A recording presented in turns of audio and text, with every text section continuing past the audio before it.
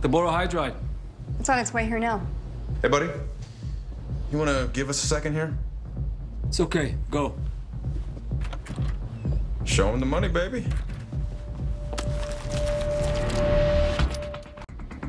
Who are you? We're friends of Omar Hamed. You remember him? Like, yay high, gray hair, poisoned him. I don't know what you're talking about. Ah, try again, Mazik. The man who poisoned Hamed called here right after he did it. You made the poison. We want the antidote now.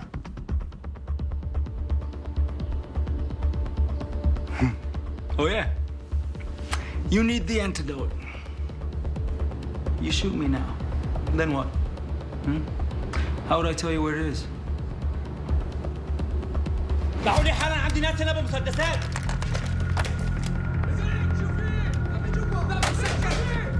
That was a bad move. I don't think so. Mohammed is going to die like the dog that he is, and now so are you two. It's not gonna hold very long, Fee. It's over. It's ten men in the hall. No other way out of here. How old are you? 18? 19? You send a child to frighten me?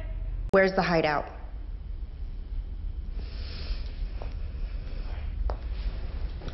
I can control the raid so that your people won't be killed. And why should I believe your assurances?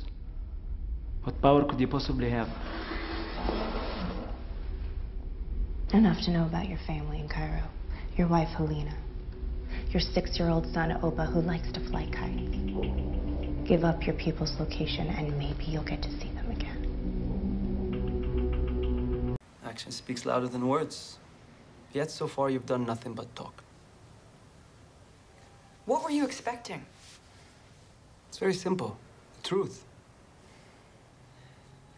Two people were tragically caught between a terrorist suspect and those whose job it is to stop more attacks on America. That is the truth. I know you know Walker.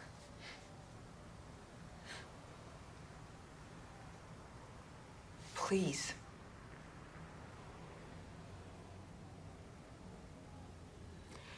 If I say I have no information, I have no information. I'm sorry. I Can't believe there's still so many of you like, rats.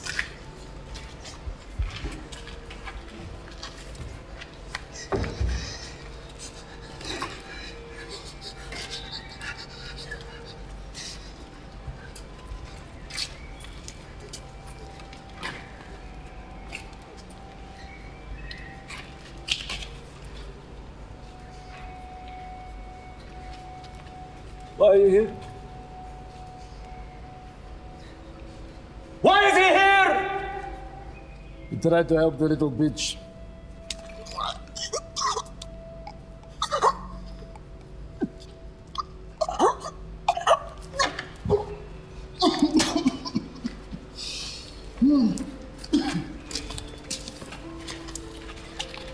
The place is too big to just be a drug lab. It's storage, also distribution.